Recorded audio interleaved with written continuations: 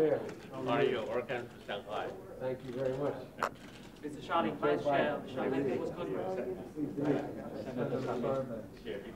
your first visit uh, after your.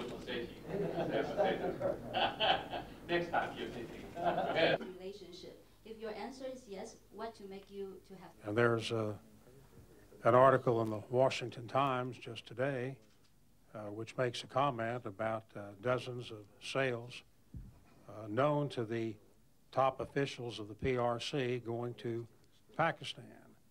And this is not the first occasion. This has been a pattern which goes back many years. And uh, the State Department under the last administration and for some time has really backed down, not wanting to make a, not wanting to make a point about it. And uh, of all of the issues of concern between the United States, or as the United States has with the People's Republic of China, that is the uh, uh, that is the most significant. And if there's to be uh, a long-term working out of problems, and if we're to maintain the uh, preferential trade status, that's going to have to be resolved. For the students, I came away with. Jiang Zemin must understand that it's not in China's interest or our interest, or anyone's interest, including North Korea's interest, to have a long-range missile capacity. And that he should be talking to our friends in North Korea, as well as Mr. Putin is, and as well as we are, that there is no benefit for such a development.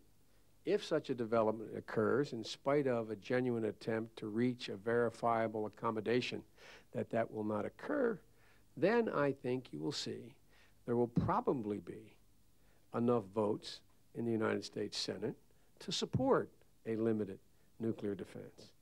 What topic came up?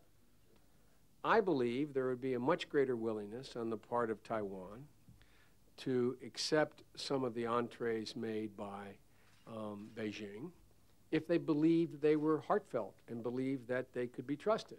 Conversely, I believe Beijing would have a very different attitude about Taiwan and Taiwan's future if they had a clear understanding of the American position relative to Taiwan.